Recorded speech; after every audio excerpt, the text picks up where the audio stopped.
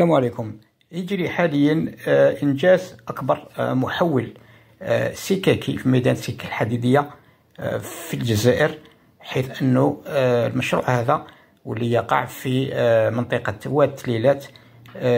سينشأ محول باتجاه خمس ذات خمس اتجاهات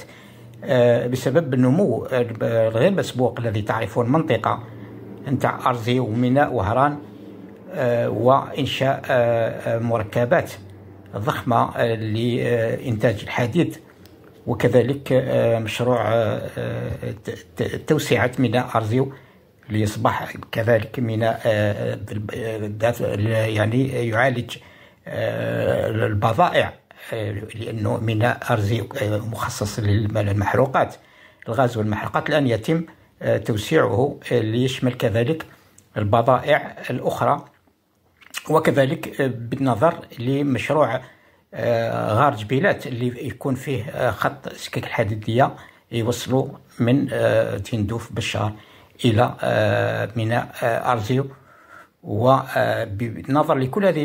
العوامل يتم حاليا توسعة المنطقة نتاع واد ليلات ليكون فيه محول سككي ضخم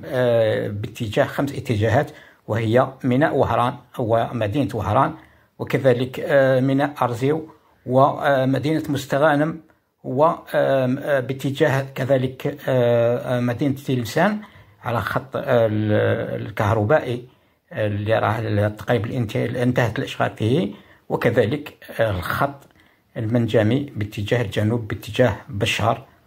وتندوف اذا في هذا يعني الإطار يتم حاليا إنجاز هذا.